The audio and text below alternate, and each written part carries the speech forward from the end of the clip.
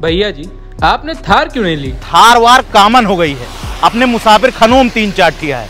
अभी हम थार लेके आते तो ये होता कौशल अमन थार लेके आवा। है और जब से थार को दो कौड़ी के नेता और डेढ़ गली के मामूली गुंडे लेके चलने लगे हैं, वो थार की गरिमा को लगातार गिरा रहे हैं। और ये गाड़ी माफिया लोगों के लिए डिज़ाइन की गई है। आपने सुना होगा, बिग डैडी ऑफ़ ऑल एस कहा जाता है। मतलब सभी ऊँची गाड़ियों के बड़े पापा हैं ये। थार तो इसका बिगड़ा हुआ लौंडा है। और एक बात और, जब जब थार कोतवाली में बैठाई जाएगी, उसको छुड़वाने स्कॉर्पियो नहीं जाएगी।